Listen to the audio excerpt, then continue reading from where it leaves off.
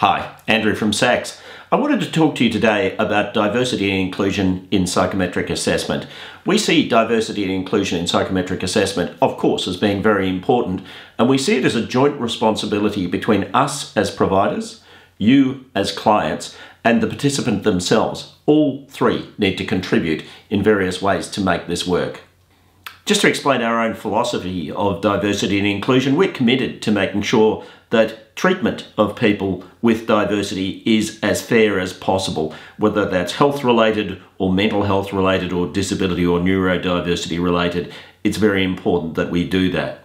So for aptitude assessments, sometimes we're able to adjust the time available to the candidate to complete, but also recommend that a particular candidate may not be cognitive ability assessed because these are time based. Personality and values assessments are untimed and so they tend not to have that pressure component that cognitive ability has. And in general, research suggests that they are not exclusive in terms of people's diversity. We also work with candidates to ensure that assistive technologies will work with whatever devices they are using in order to complete, but sometimes the best assistance can be a trusted colleague or friend who will sit with the person and help them to complete the instruments. That's commonly done if there are issues, let's say the candidate is unsighted, for example. And as well as that, we make our online system, the SACS portal, as effective as possible in terms of accessibility. We make the instruments as effective as possible. One of the most important things you can do in this situation is to communicate effectively with people about the nature of the assessments and how that will work, but also to recommend to them what they need to do if they have some form of diversity. So this is the email that we send to participants and we encourage them, you'll see, to let us know or the employer know about any form of diversity that they may have before they complete the assessments and that's a way of ensuring that the whole process is as effective as possible. But as I said earlier, we see this as a partnership, a partnership between SACS as the provider, the client, and also the participant.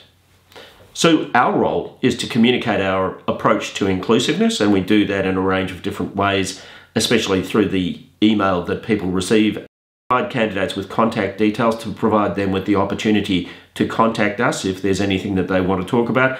And we also work with clients to meet individual candidate needs and adjust or exclude assessments if appropriate. SACS has many of these conversations with clients in a whole range of different industry sectors. We're only too willing to help in this respect, so please don't hesitate to contact us and you as the client, if you have a particular perspective on inclusiveness, then of course it's best practice for you to communicate that to the candidates before they complete their assessment. So communication needs to come from the organisation. Yes, there will be communication from SACS, but there's a policy question here. What is your approach to diversity and inclusion as an organisation. Now, if you are supportive of diversity and inclusion, then I think you need to explain that to people and, in particular, encourage people to come to you before they complete their psychometric assessments to ensure that they are doing so in the best possible way. And you may need to discuss individual candidate needs with us after having done that and work with SACS to adjust assessments if appropriate. And the candidate, really, the candidate has the responsibility of you as the employing organisation or us at SACS know if they feel that special consideration may be required. If you're not a psych testing user and you'd like to try psych assessment, use the QR code that you can see on the screen now to avail yourself of a free trial of SACS psychometric assessment instruments.